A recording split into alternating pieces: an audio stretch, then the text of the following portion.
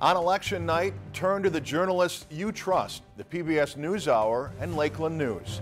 The PBS NewsHour will have all the national election coverage, and we'll be adding our own local Lakeland news coverage throughout the night at 857, 957, and 1057, as well as our local election recap newscast following their coverage. The PBS NewsHour and Lakeland News, your trusted election coverage from Washington, D.C. to northern and central Minnesota.